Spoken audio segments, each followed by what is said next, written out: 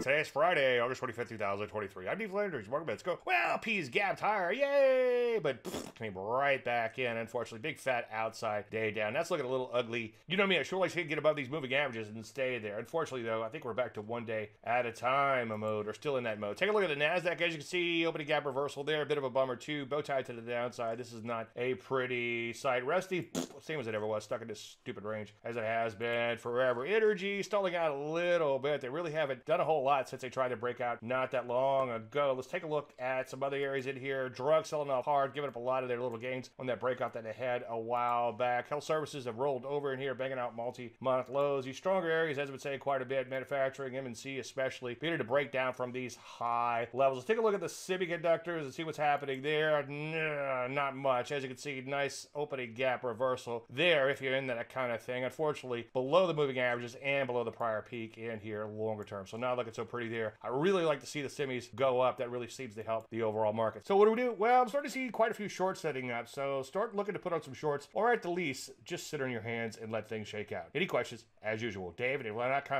I'm Dave Landry. You start the market in a minute.